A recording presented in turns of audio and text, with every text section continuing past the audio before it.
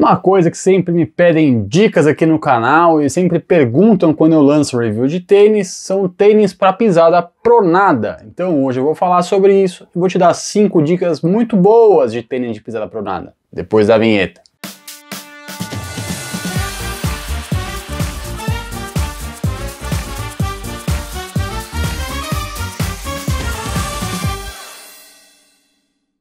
Salve, salve galerinha! Beleza? Eu sou Marcelo Kula e você está no Manual da Corrida, o seu canal de corrida no YouTube. Hoje o assunto é tênis para pisada pronada. Lembrando que grande parte das marcas já não fabricam mais tênis para pisada pronada ou pelo menos nem colocam nas descrições do tênis que esse tênis é para pisada pronada. Por que isso? Porque não existem evidências científicas que isso realmente vai te ajudar na corrida. O correto seria, caso necessário, você consultar um ortopedista e usar qualquer tênis com uma uma palmilha ortopédica própria para você. E eu vou falar tudo sobre isso, mas antes eu vou te pedir algo de coração. Por favor, se inscreva no canal, isso ajuda muito a gente. Você sabia que 80% das pessoas que assistem nossos vídeos não se inscrevem no canal? Não sejam desses, se inscreve só para ajudar a gente, nem precisa assistir mais nenhum outro vídeo depois, beleza? Então vamos lá. Se você tem pisada pronada, é difícil encontrar um bom par de tênis que te ofereça suporte e conforto, e isso é realmente um grande desafio. Felizmente, existem alguns tênis ainda sobreviventes no mercado que são acessíveis e que são projetados especificamente para corredores que têm pisada pronada ou que dão um suporte muito bacana para quem tem esse tipo de pisada. Então, indica aí alguns tênis bacana, Marcelão. Fala uns 5 tênis para nós? 5 tá bom? Vou te contar 5 tênis bacanas que são ótimos custo-benefícios, não necessariamente são baratinhos, mas ótimos custos-benefícios para quem tem pisada pronada. E o primeiro deles é o ASICS Gel Cayano 28. A linha Cayano é uma linha que tem bastante suporte, bastante estrutura, um ótimo amortecimento e uma boa durabilidade. Duram para mais de mil quilômetros tranquilamente. Esse tênis não é um dos mais baratos da ASICS, mas você já consegue encontrar ele facilmente no nosso canal de Telegram, na faixa de 700 reais ali, com grande sorte, até um pouco menos que isso. A segunda opção é um tênis um pouco mais baratinho, o Nike Flex Experience Experience RN 11. Esse aí é um tênis bem baixinho, daqueles bem antigões aí, clássicos do mundo da corrida, para quem gosta desse tipo de tênis, que estão em extinção no mercado. Ele não é um tênis com bastante suporte, mas ele tem uma entressola mais baixa, e isso evita com que o seu pé fique bastante instável durante a corrida. Vai te ajudar bastante também durante seus treinos, e esse daí é um dos tênis baratinhos. Você deve encontrar ele até por menos de 400 reais com grande facilidade. Nossa terceira opção é um clássico, um bem clássico do mundo da corrida. Muita gente já começou a correr com ele. É a linha Creation,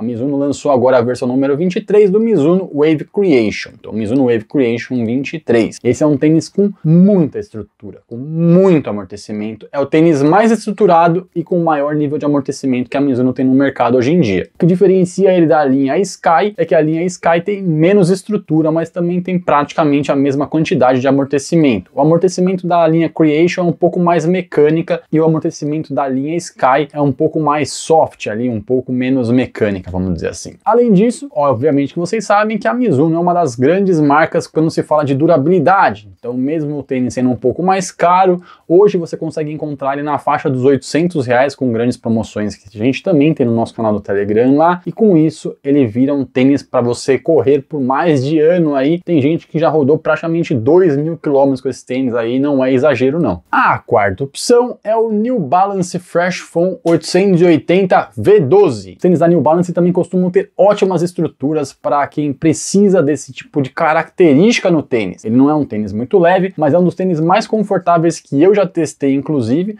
um dos tênis mais estáveis que eu já testei, inclusive, e eu tenho pisada pronada também, então eu gostei bastante de correr com esse tênis aí. Além de ter uma pisada mais suave, proporcionar redução de impacto, ter um solado bastante durável também, como eu adoro tênis com durabilidade bem bacana, também vai chegar facilmente para mais de mil quilômetros. E por último, mas não menos importante, temos aqui o Brooks Revel 5. O Brooks Revel 5 é um tênis de corrida confortável, durável e também oferece o suporte para corredores com pisada pronada. Ele tem uma tecnologia que chama Biomogo DNA. Biomogo DNA É até nome esquisito esse nome aí, mas é isso mesmo. É a tecnologia que ele tem com mais estabilidade e ele oferece um tipo de suporte que a Brooks fala que a entressola e a palmilha se moldam ao seu tipo de pisada. É uma coisa muito bacana e eu realmente já testei outros modelos da Brooks que tem esse mesmo tipo de tecnologia e é surpreendente realmente. E é isso aí, para encontrar um bom tênis com pisada pronada, não precisa ter muito dinheiro, não precisa investir muito dinheiro, principalmente acompanhando os nossos cupons de descontos, nossos tênis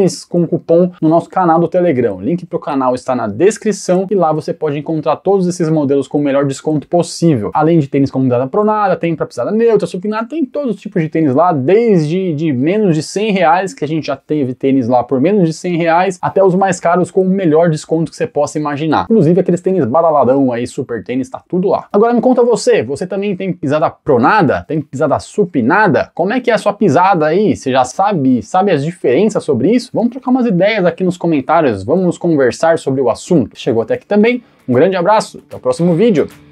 Tchau!